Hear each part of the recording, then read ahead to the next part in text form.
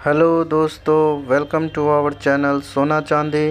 तो दोस्तों, आज मैं आप सभी के लिए मंगलसूत्र की कुछ बेहतरीन सी डिज़ाइन लाया हूँ। यह सारे मंगलसूत्र बेहतरीन कारीगरों द्वारा बनाया गया है, जो कि बहुत ही मज़बूत है।